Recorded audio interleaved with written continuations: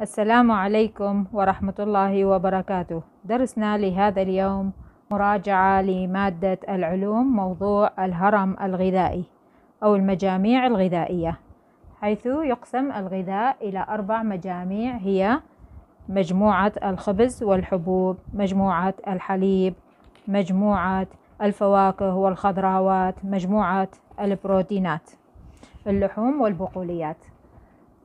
في هذا الدرس سنقوم بشرح الدرس عن طريق اللعب. باستخدام أقماش الكجة. حقيبة الغذاء. نفتح الحقيبة لنرى ماذا يوجد داخله. حقيبة الغذاء الصحي أو المجاميع الغذائية.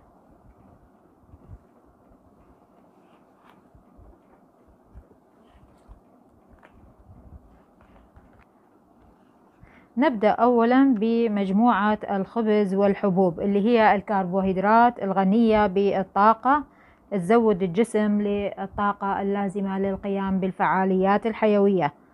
تشمل الخبز والمعجنات والرز.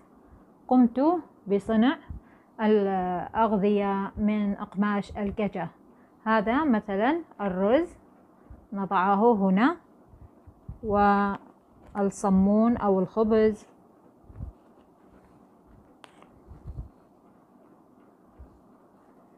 والبسكويت.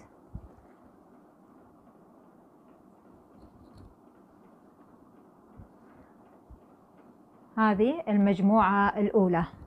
المجموعة الثانية اللي هي مجموعة الحليب ومشتقاته الحليب. أين الحليب؟ الحليب.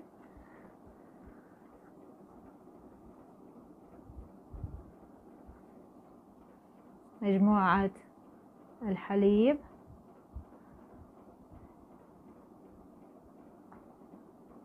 والأجبان وغيره. هذه المجموعة تزود الجسم بالكالسيوم لبناء العظام ونمو الأسنان. المجموعة الثالثة اللي هي مجموعة الفواكه والخضروات مثل ما تلاحظون نماذج كثيرة من الفواكه والخضروات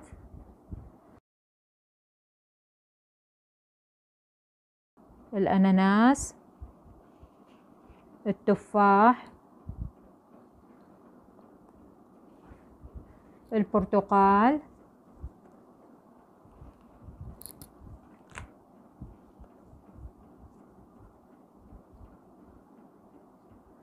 ماذا لدينا أيضا؟ البرتقال الرقي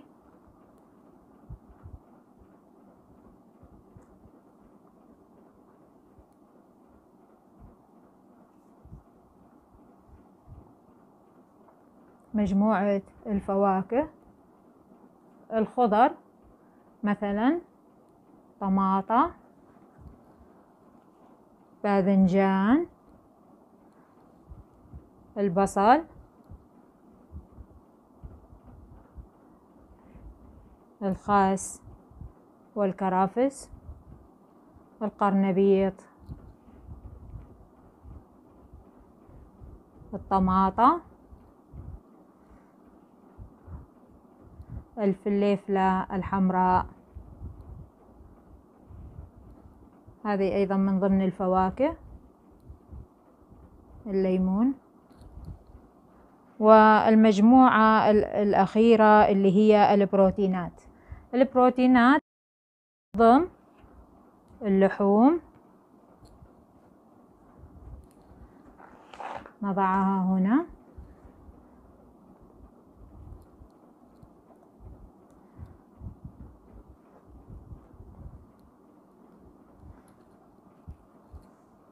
هذه تزود الجسم بالبروتينات لنمو العضلات والدماغ.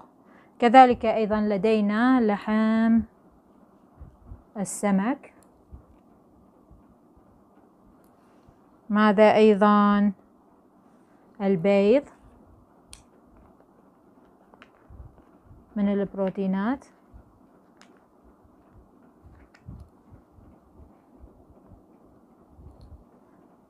أصبح لدينا أربع مجاميع غذائية مجموعة اللحوم مجموعة الفواكه والخضروات مجموعة الكربوهيدرات اللي هي الحبوب والرز مجموعة الحليب.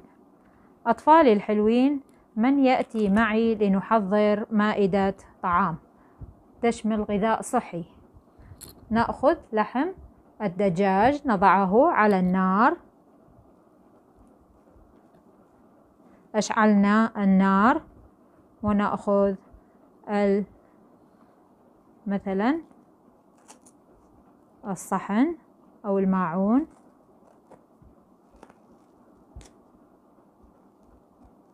نضع فيه غذاء صحي يشمل لحوم مثلا لحم الدجاج. نضع الطماطة والخيار. والصمون والليمون. من يحب أن يتناول هذا الطعام الشهي؟ تفضلوا معنا. نحضر طعام آخر طعام الإفطار. طعام الإفطار الصحي سيكون البيضة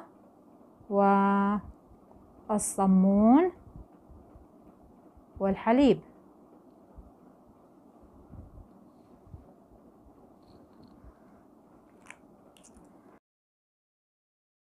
نقوم الآن بربط كل مجموعة غذائية مع مصدرها مثلا عندنا الفواكه والخضروات مصدرها نباتي. إما تكون شجرة شجرة الفواكه أو عبارة عن شجيرات صغيرة. الرز والحبوب مصدرها نباتي مثل ما تلاحظون مصدرها نباتي. نضع المجاميع الغذائية اللي مصدرها نباتي جنبا إلى جنب. الفواكه والخضر وكذلك الحبوب والرز. نأتي إلى البيض. من أين نحصل على البيض؟ من الدجاجة. الدجاجة تعطينا البيض. لحوم السمك من الأسماك التي تعيش في البحر بالنهر أو البحر. لحوم الدجاج وكذلك لحم الغنم والبقر. مصدر حيواني. الحليب نحصل عليه الحليب ومشتقاته من البقرة. أغذية مصدرها حيواني. وأغذية مصدرها نباتي.